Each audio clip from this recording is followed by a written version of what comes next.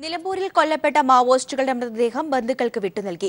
കുപ്പു ദേവരാജിന്റെ മൃതദേഹം ബന്ധുക്കൾക്ക് വിട്ടു നൽകി. അജിതയുടെ മൃതദേഹം സംസ്കരിക്കുന്നതിന് ഹൈക്കോടതിയുടെ സ്റ്റേ. കൂടുതൽ വിവരങ്ങളുമായി വിനീഷ ചേരിക്കാണ് വിനീഷ എന്തൊക്കെയാണ് വിവരങ്ങൾ? നിലമ്പൂരിൽ കൊല്ലപ്പെട്ട മാവോയിസ്റ്റുകളുടെ മൃതദേഹം ബന്ധുക്കൾക്ക് വിട്ടു നൽകി. കുപ്പു ദേവരാജിന്റെ മൃതദേഹം സംസ്കരിച്ചു. അജിതയുടെ മൃതദേഹം സംസ്കരിക്കുന്നതിന് ഹൈക്കോടതി സ്റ്റേ നൽകി. വിനീഷ ലൈനിലുണ്ടോ? ഗിരീഷ്മ അല്പസമയം മുമ്പാണ് കോഴിക്കോട് മാവൂർ റോഡ് ശ്മശാനത്തിൽ കൊല്ലപ്പെട്ട കുപ്പു ദേവരാജിന്റെ മൃതദേഹം സംസ്കരിച്ചത്. ഇന്ന് രാവിലെയോടെ മൃതദേഹം ബന്ധുക്കൾക്ക് വിട്ടു നൽകി ക്ഷമിക്കണം.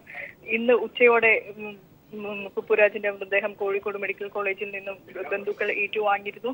അതിനുശേഷം മാവൂർ റോഡ് പൊറ്റമ്മലും മാനാഞ്ചിറയിലും മൃതദേഹം പൊതുദർശനത്തിന് വെക്കണമെന്ന ഒരാവശ്യം മനുഷ്യാവകാശ പ്രവർത്തകർ ഉന്നയിച്ചിരുന്നു. എന്നാൽ പോലീസ് ഈ ആവശ്യങ്ങൾക്ക് സമ്മതം നൽകിയില്ല. അതിനെ തുടർന്ന് നേരെ മെഡിക്കൽ കോളേജ് മോർച്ചറിക്ക് മുൻപിൽ അല്പസമയം പൊതുദർശനത്തിന് വെച്ച ശേഷം നേരെ മാവൂർ റോഡ് ശ്മശാനത്തിലേക്ക് കൊണ്ടുവരികയായിരുന്നു.